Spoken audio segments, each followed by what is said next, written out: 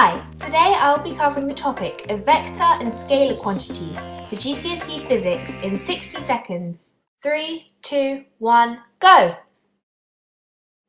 To understand what the terms vector and scalar mean, we will first need to know about magnitude and direction. Magnitude is a way of describing how big a value is, and direction tells us which way something is travelling.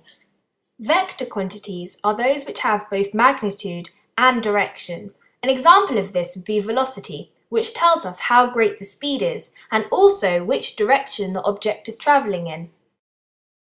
Whereas scalar quantities only have magnitude. An example of this is speed, which can only tell us how fast the object is travelling. It does not, however, specify a direction.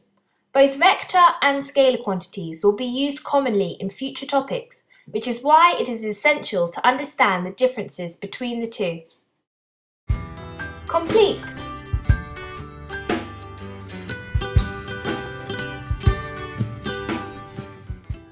If you like this video, please take a moment to like, comment and subscribe for more content.